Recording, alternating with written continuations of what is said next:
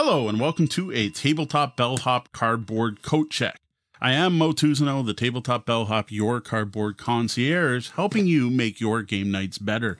Now, what I'm hoping to do for you today is let you know if you should be interested in this. This is Fantastic Factories from Deep Water Games, who I do have to thank for providing us with a review copy.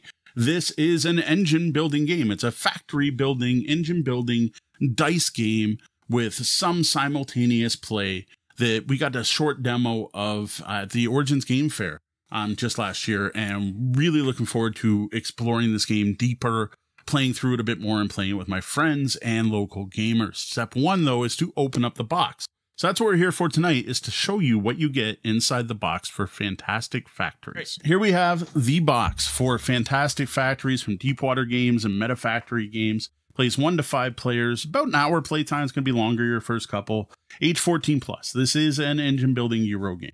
Um, the box does has a very striking look, and I really do like the graphics in this game, though they kind of remind me of Lego now and then. Uh, we can just show off the sides quickly here. And yes, they, they did, depending on how you store your box, you can go either way. But they didn't do it on the sides. Oh well. Not that big a deal. We're going to crack this open. All right, we're going to quickly show you the instructions. You've got the example set up on now. One of the things I do know exists for this game is a playmat that looks fantastic. Uh, we did not get a copy of that. So you got a little quick setup where you have a player board where you're going to build cards next to it, and you've got a central market. That's pretty much it. All the playmat really does is tell you where to place this stuff. I'm expecting to see dual layer boards. We'll confirm. I don't know if maybe I played with a deluxe edition or something. Um, and then like you go to work and you take actions, and this is it. Look, like that's it. Game end. So setup, playing the game to game end. Like for for a, an engine building Euro, I, I got to say they managed to cram a lot of game in that few pages. Now there are solo rules, big bonus for a lot of people nowadays. And then an appendix. This is just why the book's so thick, is showing off all the different cards and what they do. Though I got to say the iconography in this game is some of the best I've ever seen, which you'll hopefully get to see on some of the cards later. But just in case it's not clear, they do give you a full description of every card. And here's where that Lego look comes in that I mentioned. Like, check out this little, I love that. Um, and then we have some common mistakes. I do always appreciate that because I got to say, most of the time when I read those, especially after I played the game a couple times and go back to it, yes, look, hey, common mistakes. Tips and strategies, I won't read those before I teach the game because I'd just be mean. And then they thank a whole bunch of people for this. And then look, a quick reference on the back. I love it. Resource tokens. Look at how clear that iconography is. Like, look at that. This is the first player token. This literally says bonus, do not use. And then all of this, you can see it's got a nice UV coating on it. You've got goods, you've got metals, and you've got energy. Boom. Two sided. They look the same on both sides, except the twos don't have a two on the one side. It's like, you really need the two in the one? One fell out, shows how well this is punched. All right, these tokens go on the top. I should have, sorry, there should be four of these different tokens. Those are part of the market because you're going to discard cards with the matching symbols to be able to buy them. And look at this box insert says fantastic factories. Like the production value here is fantastic. That's kind of ironic, isn't it? I'm hoping the dice are somewhere because I figured they'd be in there. Uh, so yes, dual layer boards. Look at, I uh, can I really show that that's dual layered? Yeah, you can see it there, right?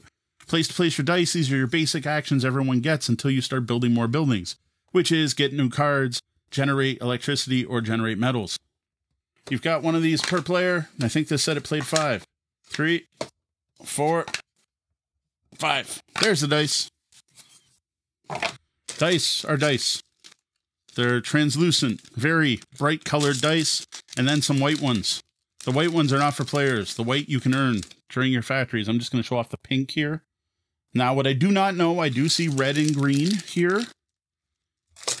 I don't know if those are colorblind friendly. I do not have any um, color related vision issues, lots of other vision issues. So I'm not sure on that, but honestly, I don't think it matters. It's just your own dice. There's no need to compare them. They're never put on the same board as everyone else. You're just handling your own player colors. So we have a bunch of dice in here. Uh, do, do, do, four per player. Yes, four per player, and then a bunch of white, which are ones that can be earned. Then the only thing that should be left is a bunch of cards split into two types. You can kind of see the backs on some of those. So we're going to move this stuff out of the way. All right, so here we have both decks, and again, I'm just going to show off how clear um, the iconography is in this game. Here's the legend, and I just found that very clear, easy to see. Um, my camera's not focusing on it, so it's a little harder to read than it should be. So I shows the icons, and this is your round summary. You can play this solo versus the machine and the player side, so you have what happens on each different turn. Here are your contractors you can hire. And again, they look like Lego to me. You have the architect, the electrician, the engineer, the foreman, the hired hands, and so on. When you purchase these characters, you are going to get the bonus on the bottom. What I love is, in addition to the icons, it tells you in text exactly what it does as well. And there's a summary in the rulebook just in case some of that's not clear. Then the rest are your blueprints of the buildings you're going to build in the game. This shows what they cost to build, but also these are resources you can discard an aluminum factory to be able to build another building with the same symbol. So you got a little bit of that race for the galaxy. There are multiple copies of cards denoted by these two dots. So there should be two aluminum factories. I should find two assembly lines. So these are all sorted. Um, looks like in alphabetical order. Yes, it looks like an alphabetical order. And again, I, I dig their striking. It's it's got a it's it's a certain style, a certain look, but I like it. And we're just gonna quickly flip through some of these and drop some of these and put it back. So these are all the different things you're gonna make, and you're going to use these to build an engine. And in general, you're gonna try to make goods. Goods are the little cubes. So for example, here you need two dice of the same to go on the manufacturer. You get a good, and then you get more resources, which can build other things. And the whole goal is to set up some kind of engine. Like I said, it's a pure engine building game. Some of the things are going to require you spend dice. You spend a six, you get a good and a lightning bolt. So you might want to combine that with something that gets lets you modify dice rolls. Again, not a full teach. Love the robot. Again, the artwork in this game just it, it just it's so clear. It's so clear and easy to read.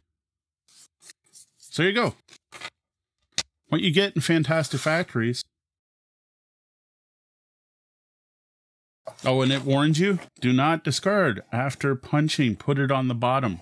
How often have I told people that?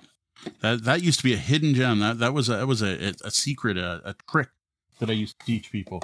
Because these style of games, if you do that, it lifts that box insert up so it's actually smooth. That way you can store your games like a barbarian and have them this way and not have everything fall out a look at Fantastic Factories, Deep Water Games, Meta Factory Games, a, a very pure engine building game, which has, in my opinion, some of the most striking board game art, most clear iconography I've ever seen. Really enjoyed this game. We are at Origins and I'm walking around with my wife and I'm like, oh, they're doing demos of Fantastic Factories. You have to play this. And Deanna sat down and she saw the Lego men and the kind of look and was like, eh, we played two rounds. She's like, yes, Mo, thank you. Yes, you know what I like. Thank you. Thank you for making me sit down and play that. And then I had to thank Deep Water for then letting us take a copy with us. So really looking forward to getting this game played. Thank you for joining me, checking out the components and fantastic factories. Now, I will be sharing my thoughts on this on the Bellhops tabletop segment of the pa- Tabletop Bellhop Gaming Podcast. It's a lot of tabletops and bellhops. Um, we get together Wednesday nights, 8 p.m. Eastern time on Twitch, twitch.tv slash tabletop bellhop to record the Tabletop Bellhop Gaming Podcast, where we answer your gaming and game night questions. We are the Dear Abby of gamers. If you have a question for us, send it to questions at tabletopbellhop.com. Would love to answer your question on the show, and as part of every episode, we talk about the games we've been playing. And we do feature reviews, so you'll eventually get to see a review of Fantastic Factories. Thank you for joining me. Good day and game on.